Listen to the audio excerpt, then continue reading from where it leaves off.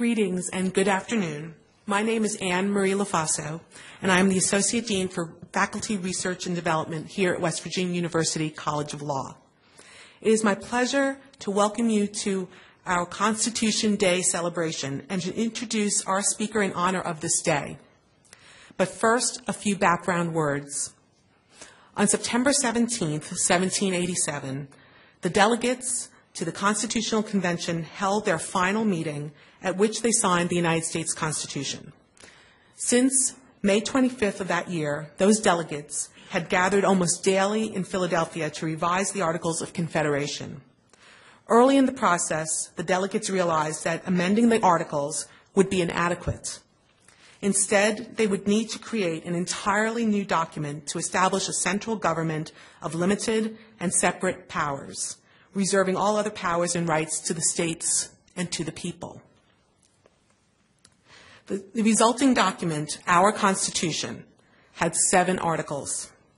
The first three articles define and limit the powers of the federal government and its three branches. Article 5 tells us how to amend the Constitution. Article 6 gives us the Supremacy Clause.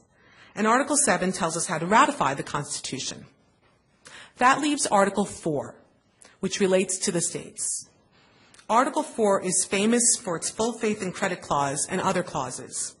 But I'd like to briefly point out another clause that might be more relevant to today's talk.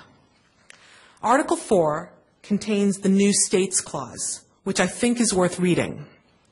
New states may be admitted by the Congress into this union, but no new states shall be formed or erected within the jurisdiction of any other state, nor any state be formed by the junction of two or more states or parts of states without the consent of the legislatures of the states concerned, as well as of the Congress. This clause is interesting to anyone who knows the history of West Virginia statehood, which should be most everyone in this room since we just celebrated our state's sesquicentennial. I practiced that many times last night, that word. On April 17, 1861, Virginia seceded from the Union by a vote of 88 to 55. 30 of those 55 votes came from delegates of the future state of West Virginia. Later that year, West Virginia was formed. I am truly happy that everyone can be here for what I believe to be not only a profound look at some of the decisions made by Abraham Lincoln during his presidency affecting the Civil War, secession by the southern states, and West Virginia's separation from the state of Virginia and its Confederate principles, but a look at secession in general, the international law enabled, it enabled, and the effect it has have, had on even today's current and global events. Professor Roger Billings has created, as some might say, a professional hobby in tracing and understanding the life and career of Abraham Lincoln, whom many, including I, consider to be our nation's greatest president. In addition to speaking to such various audiences the, as the New York City Bar Association, the Filson Historical Society, the Louisville Civil War Roundtable, and the Illinois Judges Association, Professor Billings has thoroughly navigated Lincoln's travels to and throughout the many Civil War battlefields. His recent book, Abraham Lincoln Esquire, The Legal Career of, a- of America's Greatest President, published by the University Press of Kentucky in 2010, focuses on Lincoln's career in, study of, and dedication to the field of law. A University of Akron School of Law graduate and current member of the faculty of the Salmon P. Chase College of Law of Northern Kentucky University, Professor Billings has written several books about various legal aspects of the automobile industry and business transactions within the common market and Eastern Europe. He has often visited Munich, Germany, and the Russian People's Friendship University in Moscow as a participant in lawyer exchanges. He was designated as a Fulbright Distinguished Professor at the University of Salzburg, Austria in 2004, and has returned each year as a visiting professor with a focus in international trade law. It is therefore with great honor and appreciation that I ask you all to please help me to welcome our guest, Professor Roger Billings.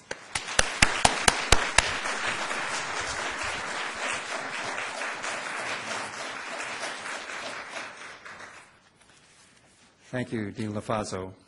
Dean McConnell, and other friends that I have gotten to meet in my brief visit here, Professors Bastress, Ellis, McLaughlin, thanks for welcoming me uh, back to West Virginia. I say back to West Virginia because I'm old enough to have been drafted into the Army. And guess where they stationed me? Fairmont, West Virginia. So I fell in love with West Virginia during my two years uh, down the road and uh, spent some time in Morgantown when I was there, and that was uh, before some of you were born. And so I'm extremely happy to be back. Making two nations out of one nation is a nasty business. It starts with a secession, and it's seldom peaceful. If secession leads to a provisional government, then the next problem is recognition of that government. Sometimes when secession is followed by some form of recognition in international law, it's still not enough to create a new nation. In analyzing secession, we will use the Civil War as the prime example, and also the secession within a secession of West Virginia. Lacking much guidance from our own Supreme Court, we will see what the Supreme Court of Canada has said about the subject of secession and the legality of it. To analyze recognition, on the other hand, we will again use our own Civil War, but we'll then conclude with the war between Kosovo and Serbia. Have you ever wondered what it would have been like if uh, we had had uh, the um, uh, United States of the North and the Confederate States of America? Uh, had Lincoln recognized the CSA, he would have set up an embassy in the capital of Richmond, Virginia. He would have exchanged ambassadors with the CSA. He did that already with Russia and uh, Britain, France, the Austria Hungarian Empire. He would have set up border checkpoints to stop trains and wagons to collect tariff on the imported goods from the north or into the north. Armed guards would be posted on the border. There would be no fugitive slave laws anymore that would allow slave masters to chase runaways into the north and fetch them back. That would be one good thing about the split up. There would continue to be a steady stream of runaways, but the Underground Railroad would no longer be needed to protect uh, the runaways after they reached the north. On the other hand, the South would do all it could to stop runaways at the border. They would maintain a large number of border guards. They would watch the Ohio River carefully, where I live, looking for small boats coming across. They wanted no more Elizas of Uncle, Uncle Tom Cabin's fame. You remember Eliza came across the Ohio River on the frozen ice, and that's how she was able to make it over to Ohio. They would routinely check all the wagons crossing bridges, like the suspension bridge from Covington, Kentucky to Cincinnati. The scene at that bridge would be something like the scene at Checkpoint Charlie during the Cold War. Some of you have seen it, maybe. Do you remember the dramatic escape attempts? People hiding under cars, other people climbing the walls and running across no man's land, some of them getting shot. Expect similar things to happen at the border between the South and the North. Every week you would hear shots ring out from the southern side. Yep, another slave was trying to escape. Now, if you were white, you would have to apply for a passport before trying to move across the border. The Southern Border Guards would have an up to date list of abolitionists who would be denied entry into the South. Now, that's just the peaceful scenario. The second scenario is that the Confederate decides to fight a war of secession. Well, of course, that's what happened. Lincoln had two policy reasons why the South should not be allowed to secede. And one, he said, the Declaration of Independence is the last best hope on earth. We have to preserve it. And secondly, if the Confederacy became a separate nation, the slaves would be trapped in the South, and the hope for gradual emancipation would be dashed. Instead, slavery would spread, and Lincoln thought it would spread to Cuba and Mexico. He saw nothing in the U.S. Constitution that permitted secession the South saw nothing in the Constitution that prohibited it. Years later, the Canadian Supreme Court gave the first reasoned opinion in the Quebec secession controversy that I know of from a democracy facing secession. And I will discuss this opinion uh, as it's the only court that we have that can tell us some insight. The Quebec controversy began in 1603 when the French settled Quebec and called it New France. For 150 years, things were relatively peaceful, but the French always felt oppressed. Uh, during the Civil War, uh, for example, their feeling that they were a minority up there was enough to attract the Confederates to set up a, an office in Montreal, the Confederate States of America office in Montreal, Canada. Well, during the, uh, the intervening years, the unrest continued till we come to 1967 when Charles de Gaulle came to Quebec. And at the end of a speech in Quebec, he poured oil on the fire. He said, with the concluding words, Vive le Québec! Vive le Québec! Vive liberté! Well, that was enough to ignite separatism anew. And then in 1995, they had brought it to the point where it was put to a referendum for the second time, actually. The first time failed, and the second time failed too 49.4% voted for secession. The governor then asked the Supreme Court of Canada for a ruling whether secession was constitutional. Lincoln would have been pleased with the result. Quote, secession of a province from Canada must be considered in legal terms to require an amendment to the Constitution. Now, this echoes what the U.S. Supreme Court said in Texas versus White in 1968. I'm sorry, 1868. Decision, the decision uh, uh, that they gave was one that Lincoln would like to have read but never lived to read, of course. And uh, a part of the decision reads When Texas became one of the United States, she entered into an indissoluble relation. The union between Texas and other states was, was as complete, as perpetual, and as indissoluble as the union between the original states. There was no place for reconsideration or revocation except through revolution and through consent of the states. But during the war, no one had the benefit of that opinion, White versus Texas. Uh, let's take a look at some arguments for and against secession that were used on both sides of, uh, of the Mason Dixon line. Northern lawyers argued that the Constitution prohibits a state from entering into any agreement or compact with another state without the consent of Congress. Article 1, Section 10, Clause 1 and 3. Two Supreme Court cases interpreted this as rendering the Confederate States of America an illegal government.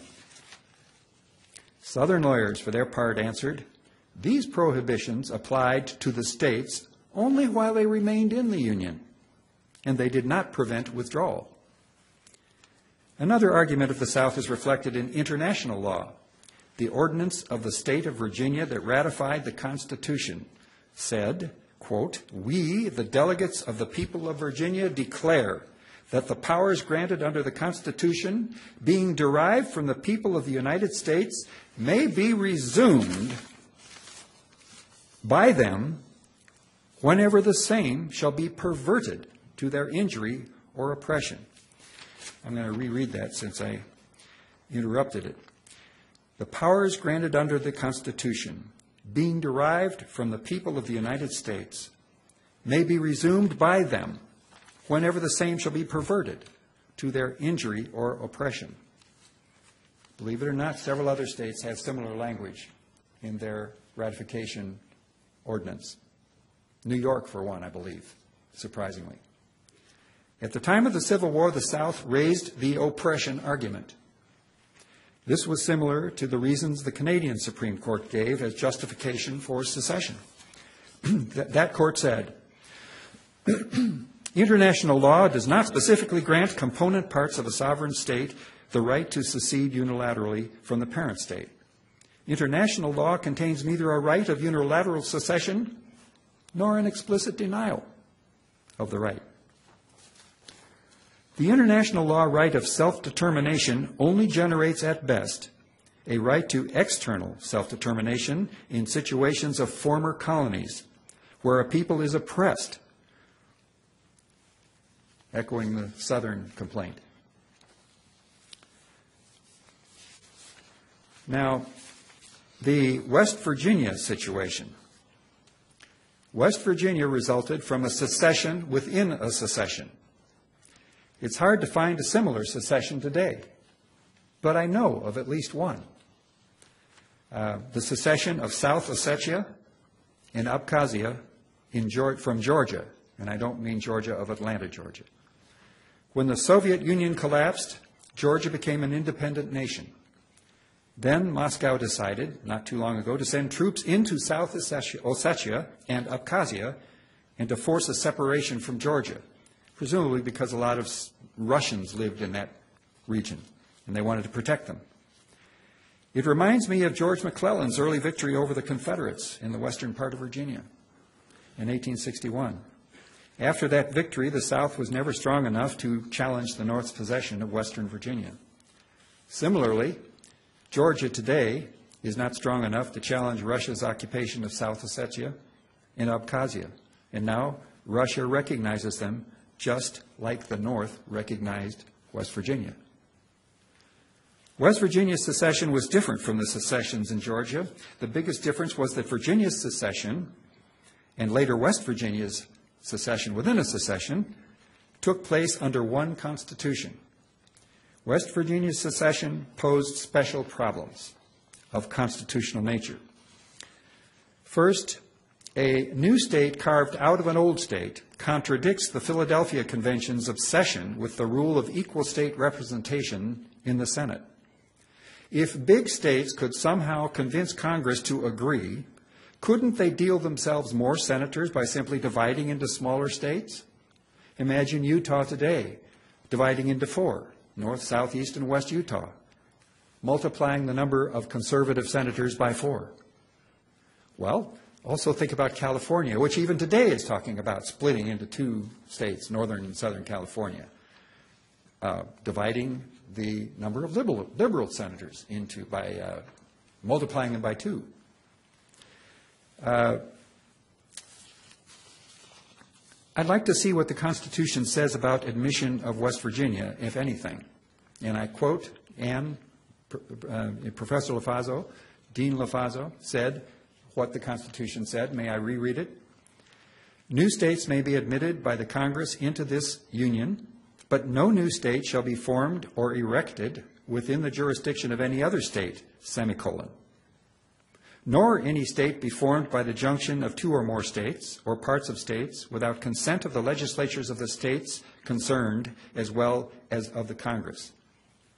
The first thing, and a big law review article 10 years ago was written about this, the first thing to note, without my spending any time discussing it, is the semicolon, which seems to say, no new state shall be formed or erected within the jurisdiction of any other state, semicolon. They said that's a period. Lots of, lots of ink spilled on that one. This is U.S. Constitution, Article 4, Section 3, Clause 1, by the way. Now, the writers of that 2002 Law Review article, published in the Berkeley uh, Law Review, uh, California Law Review, uh, put it this way I quote Brace yourselves for this one, mountaineers. West Virginia might not legitimately be a state of the Union, but a mere illegal breakaway province. In the summer of 1861, following the outbreak of civil war, 35 counties of Virginia west of the Shenandoah Valley, north of the Kanawha River, met in convention at Wheeling to consider seceding from Virginia. In short order, the Wheeling Convention declared itself the official, lawful, loyal government of Virginia and organized a proposed new state, West Virginia.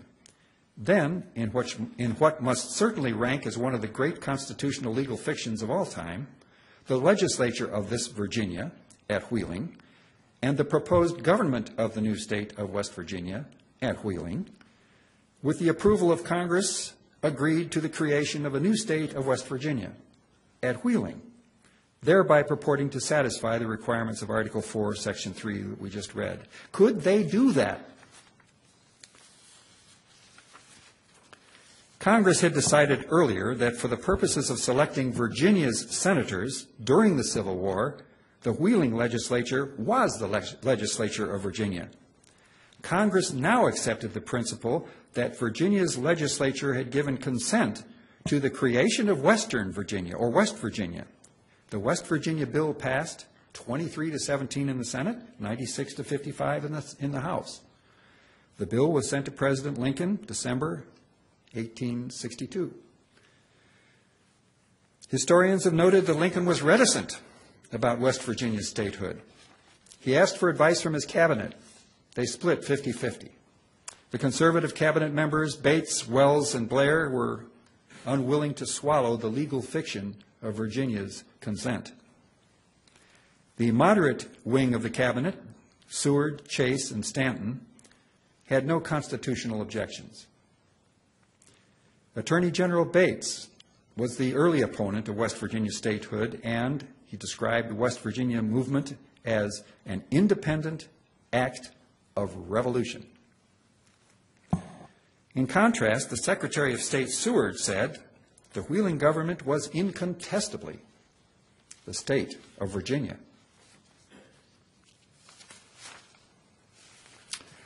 Um, but Lincoln was dependent, was never dependent on consensus in his, his decisions. Uh, he didn't care if they split 50 50. He formulated his own written opinion, which he reportedly read aloud to those cabinet members who were sitting there, some of them fuming and some of them happy.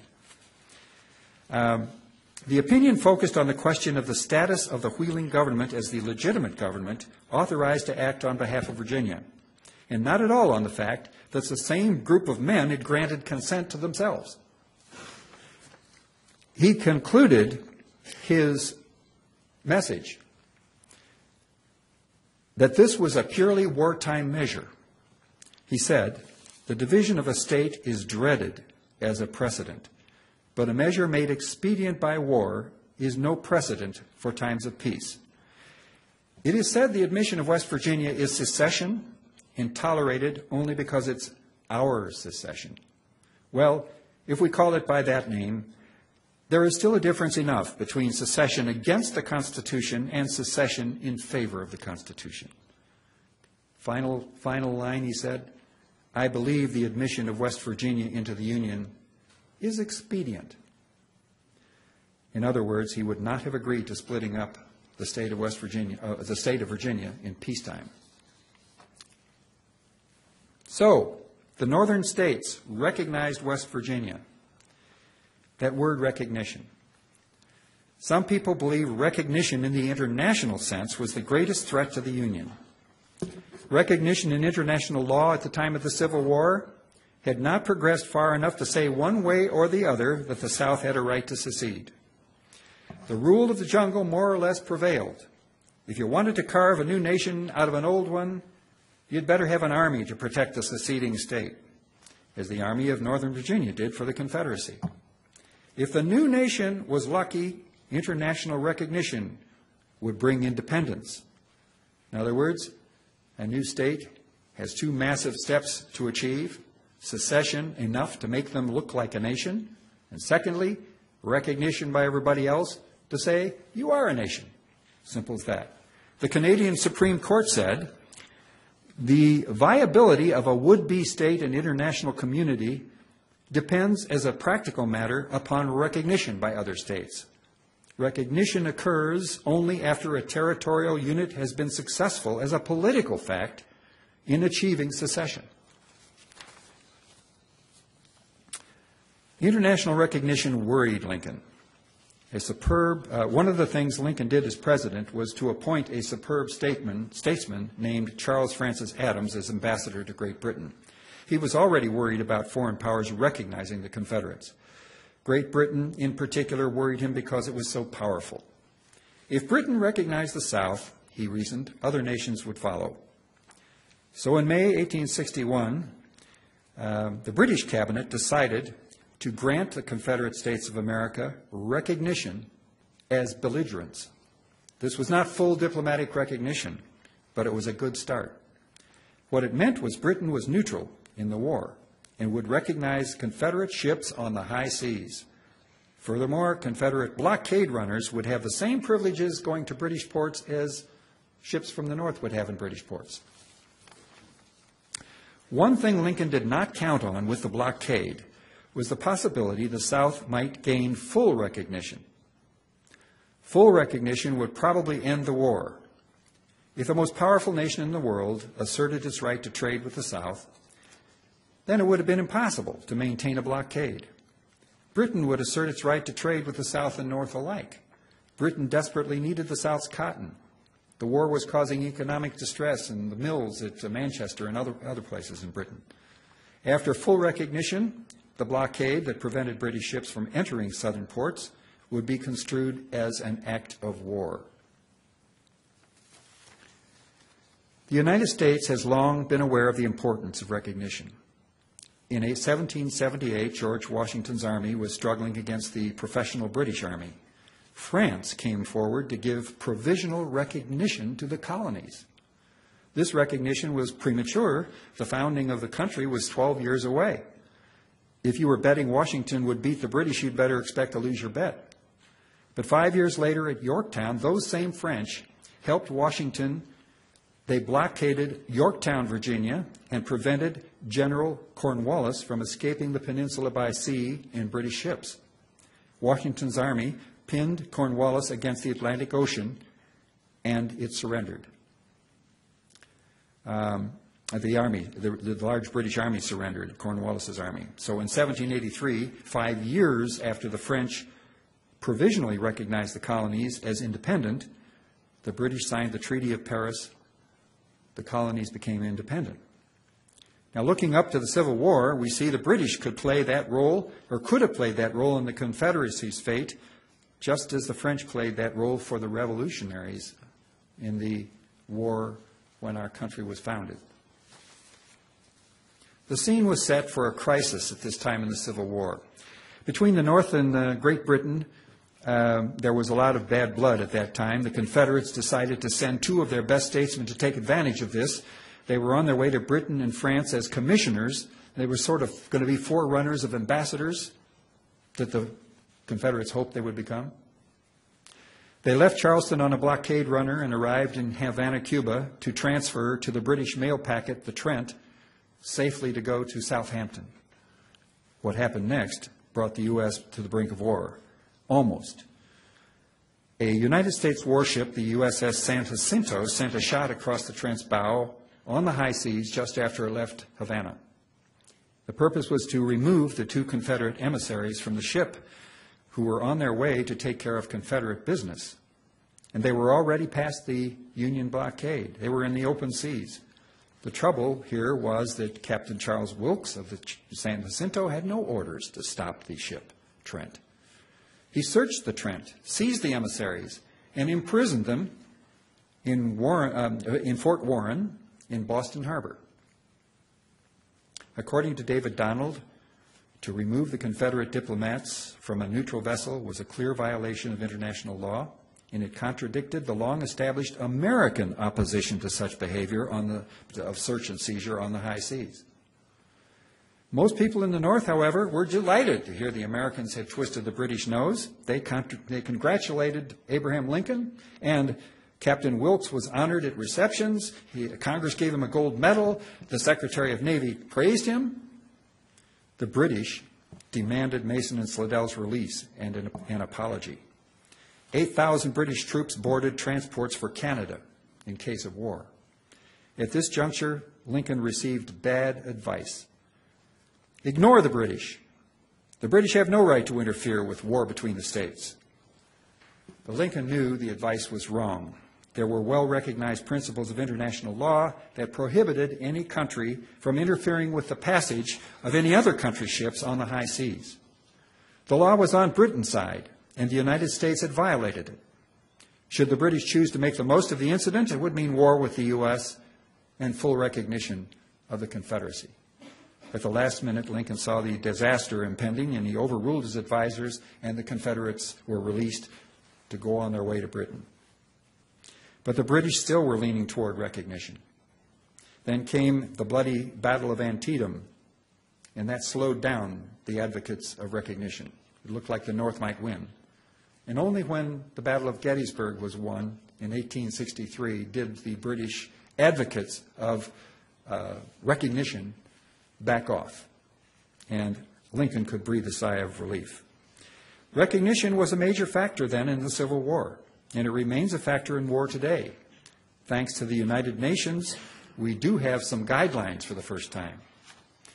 The Charter of the United Nations simply says membership in the United Nations is open to all other peace loving states which accept the obligations contained in the present Charter and in the judgment of the organization are able to carry out those obligations. Well, that begs the question in the Charter what is a state? Yeah, we'll accept a state in membership. What's a state? Well, the first criterion, statehood then, uh, requires certain attributes to be examined, and believe it or not, the, uh, the attributes for statehood are still quoted from the Montevideo Convention of 1933 as the best criteria.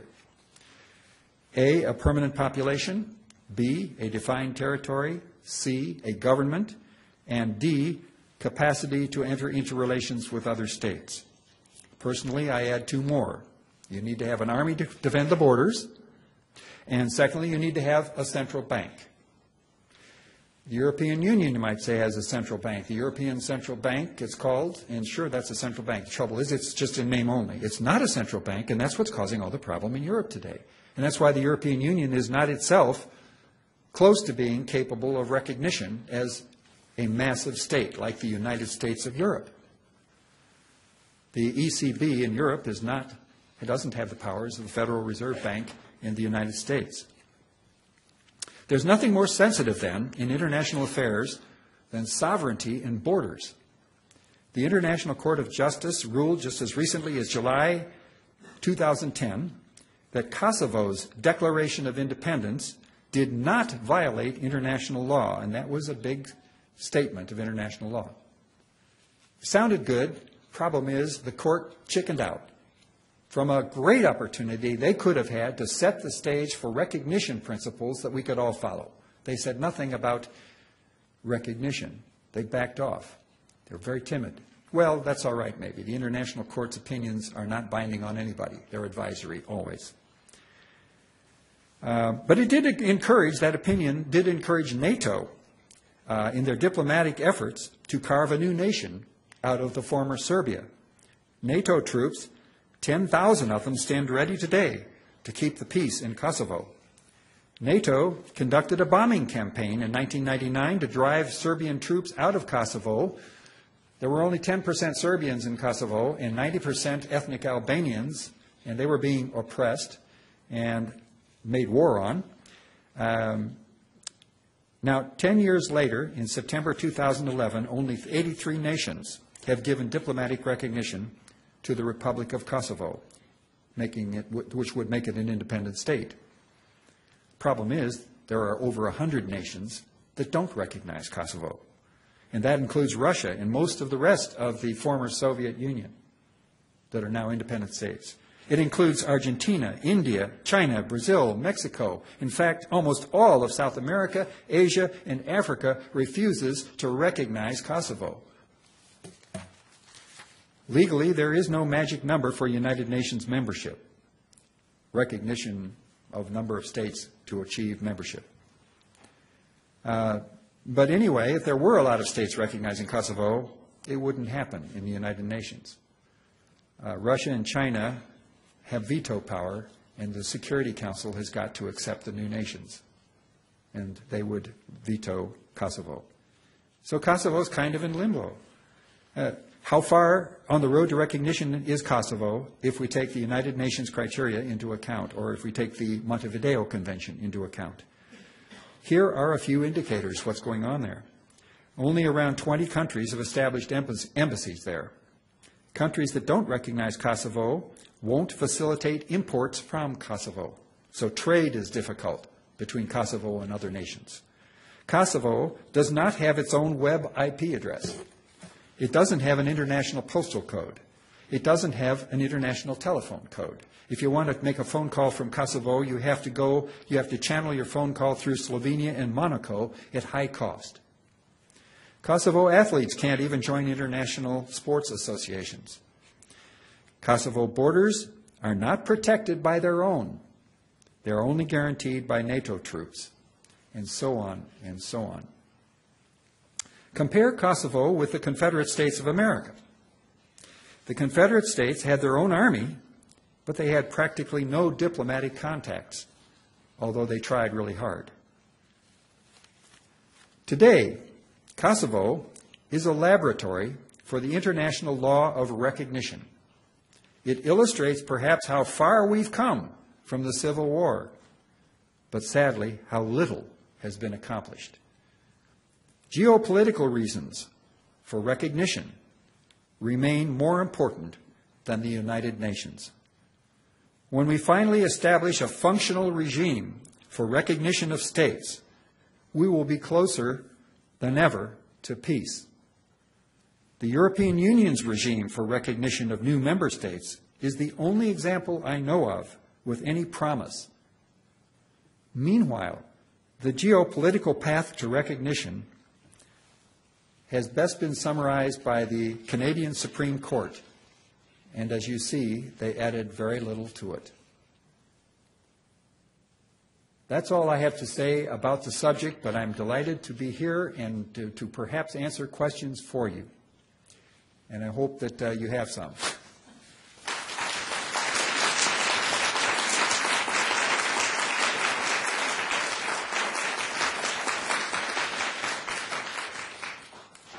No, no, in order to get it on the webcast.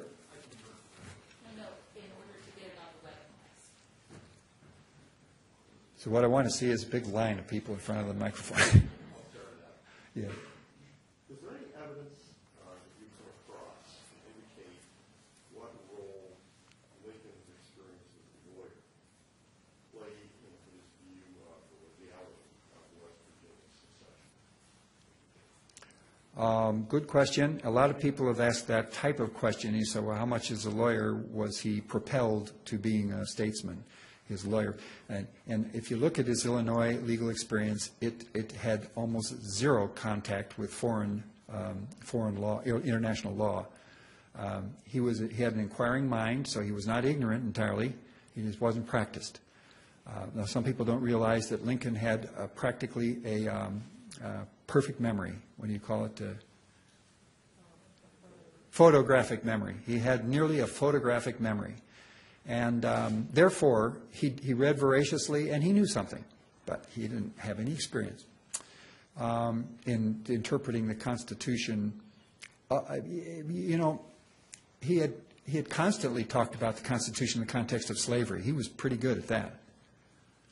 Uh, if that's what you mean, um, the Lincoln Douglas debates, of course, brought out lots and lots of his uh, constitutional analysis. The Cooper Union Address, what he did was he studied um, every book he could get his hands on, taught himself more about uh, the founding fathers uh, than most people today, even scholars, do. He, was, he blew them away in Cooper's Union by his knowledge of the Constitution as it was originally intended. So if, if, if that's what you mean by did he have um, legal training to handle the problems in the Civil War of the Constitution, separation, and so forth, yeah, he was about as good as many others, but um, it was lacking his breadth of international training. He, he didn't. What was brilliant about Lincoln was his common sense was so broad and so deep that he was able to handle international problems of uh, recognition, which, of course, as I said, is closely related to secession. He was able to handle these problems better than his cabinet. And Seward just really didn't look better than Lincoln. If you read, if you see what Seward was advising Lincoln to do, and Lincoln would think, and he would think, and he'd read a few little bit, he came up to have a better reasoned opinion, a better reasoned opinion on almost all the issues, in my opinion, than all the wise people around him. Um, and he he was a fast study. So yes, he had constitutional background, but it was fairly narrow. He had no international law background. And he was so astute that he was able to make up for it. I don't know if that helped or not. Thank you, first of all, very much for your wonderful talk. Um, I was curious about uh, West Virginia secession, and I didn't, I guess I didn't realize or remember that West Virginia in Wheeling declared, or the delegates in Wheeling declared them the legitimate government of Virginia, and so then um, seceded. Because I always thought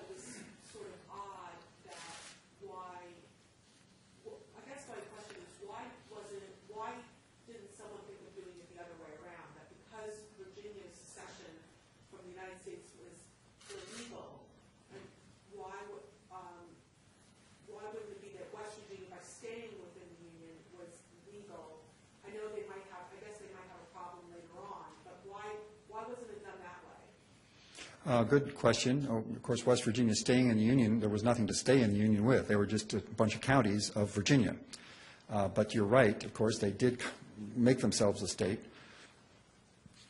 Uh, Let's see, if I follow you. Um, The legal, uh, it was all done with a legal fiction of the certain counties in West Virginia, in the western part of Virginia, the bulk of who- whose inhabitants did not feel comfortable with the gendered, uh, landed gentry, did not feel comfortable with slavery, uh, just lived a different life among the mountains. These people felt uh, uh, more northern. Not all of them. Was, well, so they, they pretended, of course, that they were Virginia.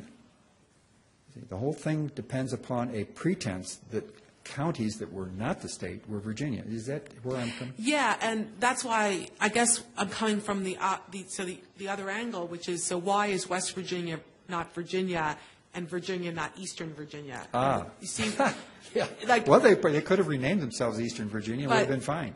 but I guess in saying, I'm sorry if it's not, I'm, I'm, it's difficult, but what I'm saying is that why wouldn't, why didn't someone try to, um, uh, not, I mean, obviously, historically, this didn't happen, but what is wrong with the logic of trying to pull, of saying, look, we're the legitimate Virginia? After the war. Yeah. That's a And great, that's a so great question. Great you- question. You can be another state if you want, but we are the legitimate Virginia. And so when the Civil War was over, yeah, yeah, hey, Right? That's Okay. great. And, and I don't think, I, I don't know if, if one of my. And so one the of my- law review article's wrong, that it's not the mountaineers who are illegal, but it's the state of Virginia that's illegal. Right? Right?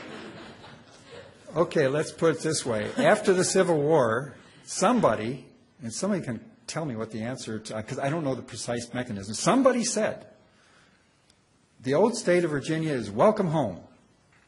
The old state of Virginia. But unfortunately, the western part of it is not welcome home in the sense that they're, co- they're coming home from the Civil War because they always were with us. So we're going to leave them the way they are. And the rest of Virginia that is, does not, is outside the borders of western Virginia or West Virginia, the rest of Virginia is welcome home. Um, who made uh, the, the decision that the Wheeling government was not going to take over the whole state again? That's what I think you're asking. Why That's didn't- part of it. Why didn't the Wheeling government become the only government of Virginia? And if that couldn't work out, why not then the Wheeling government is the government of Virginia and the Richmond is the government of whatever they want to call themselves, Jefferson? You mean that we, uh, on a copyright or trademark basis, we should deny them the use of the name Virginia? I agree. I, yeah. They got, they got away with murder. Yeah, they did. They got away with a lot. Should, should- should have called them the So- North, the, the state of Norfolk. That would have done, wouldn't it? That would have condemned them. That's a good, great question. Great question. I hadn't thought about it. So somebody must know out, out there that I don't know. Uh, talk afterward. Um, I did a paper on this subject in undergrad, and if I recall correctly, after West Virginia separated, they actually established a northern recognized state government of Virginia in Alexandria. And I'm wondering if they had done that prior to the, uh, you know, if they'd done that concurrent with the Wheeling government, if they could have avoided that um, supposed constitutional obstacle. Uh, um, there, there, um, you, you know more than I do about this, believe me. Here's what little I recall from reading uh, David Donald's, uh, I'm sorry, uh, J.G. Randall's uh, Constitutional Problems Under Lincoln, which I recommend. Um, Mr. Pierpont, who was the first governor of West Virginia, as I understand, repaired to Alexandria and set up an office there and stayed there most of the war. Am I right? I believe that's right, yeah. And he was, after all, the elected governor back at Wheeling, so all he did was remove his office nearer to Washington. Right. So uh, technically speaking, uh, he was just uh, in- uh, putting his office in an old part of the original state of Virginia that had seceded, but was now conquered Right. by the North. I have no idea whether we- he he ever tried, maybe- did he try to claim that the whole state of Virginia was now part of West Virginia? Uh, he was the you know provisional governor elected by the uh, the Wheeling uh, Legislature. the Wheeling Conference or, or whatever. The the actual first government elected under the West Virginia Constitution was Arthur Boreman, I think. So you know it's kind of a sep- you know, I, I I don't know if I'm convinced that, you know, the, the Wheeling government wasn't actually, you know, uh, didn't purport to actually be the whole state of Virginia, you know, the way that it panned out. But I, I don't know, it seems like that there's not a whole ton of documentation about it. Uh, Apparently not, but uh, apparently you found what there is, and uh, I hope, I hope you saved it, and if you did, would you like my card? Send it to me. An- Anybody else?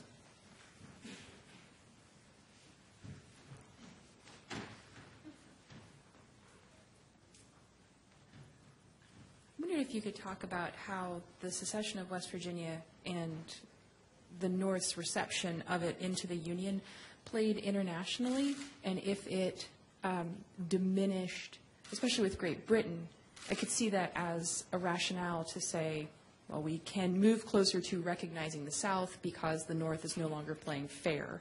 Um, And and if it, it led into any repercussions with the recognition of the South as a nation.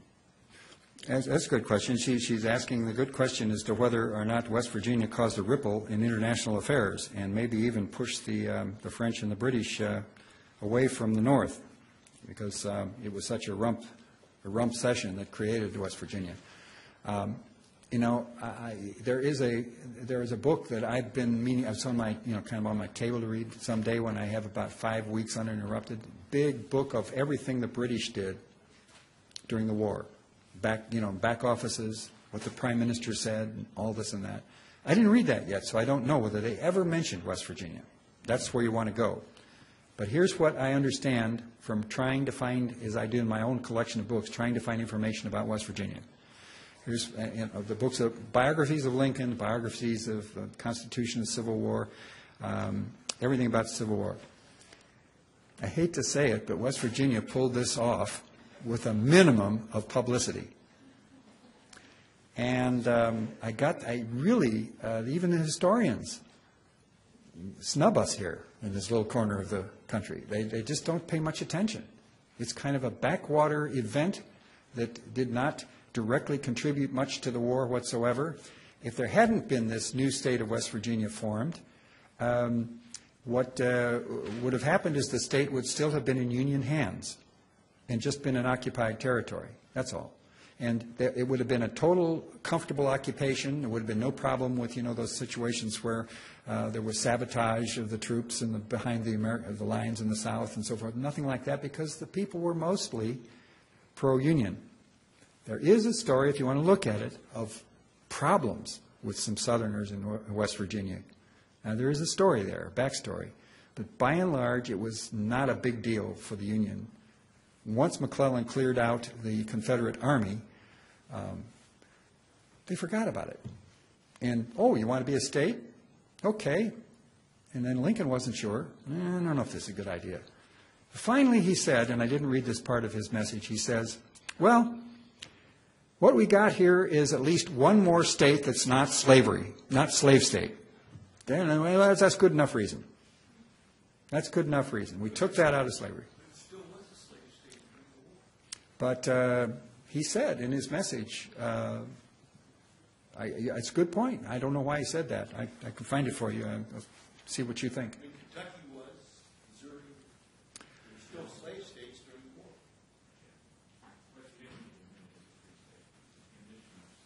Was that a condition? Thank you. So um, it was, uh, what you're saying is that there were slaves in the hands of citizens, and that's important to, to note. Um, if it was admitted as a free state, I don't know what happened to the very few slaves that had been held. They were emancipated by the admission of West Virginia. Do you know how many it was? Small number.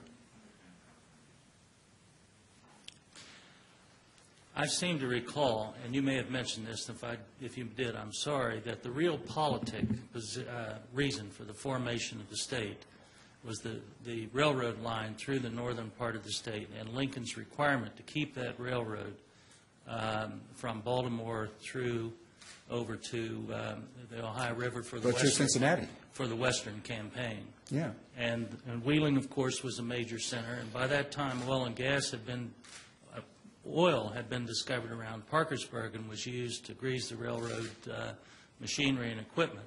So I think if anything persuaded Lincoln, in, a- in addition to his own legal thoughts, it was the fact that to win the war, he might have to have Western Virginia. That is a great addition to my remarks. Thank you.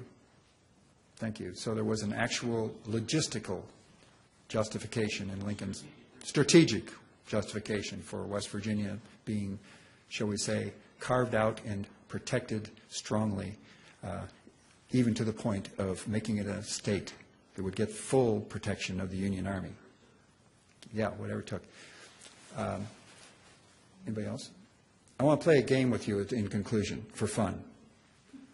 I want to ask you all about uh, uh, four, uh, I'll give you four names, and I want to ask you if you can tell me uh, which of these is not a nation state. I'll start out. Slo- Slovenia, Slavonia, Slovakia. Which one is not a nation state? Slo- Slavonia, Slovenia, Slovakia, Slavo-. Those are, that's of course out of order of the, I started with. I'll, I'll mix and match. We want to put the cup, you know how there's four things, not three, three peas under the cup. Anybody want to guess? Ah, Slobovia is not a state. Absolutely. Most of you knew that probably. There's one more. Aha. There's a second one.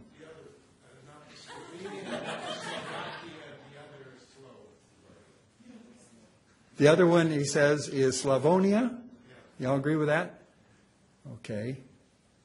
Is he right, folks? Absolutely. Absolutely. He's right on. But just for the fun, just for the fun of playing with this uh, little um, game of peas under the cup, uh, Slavonia, while it is not a nation state, is a huge province of, Slo- of um, Croatia. Slavonia is the name of a region, and the way uh, secession is going in the world, I've identified maybe 20 or 30 uh, secessions of importance since World War II, some of them still going on. Um, Slavonia, you never know, may become a state, but it is a, um, I mean, in Europe, it's a big deal. You want to go to vacation in Slavonia. Well, it's part of Croatia.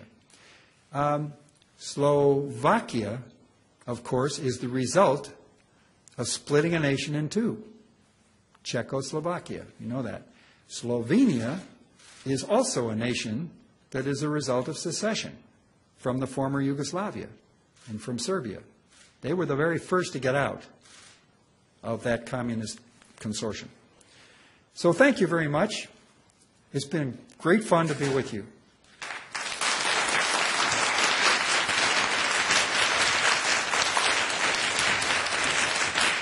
Just one second. I just want to um, thank our, our guest speaker and as in appreciation, I know some of you have to go to class, so feel free. Um, in appreciation, we do have a piece of glass made in West Virginia for you and your wife to share. Thank you. Thank you.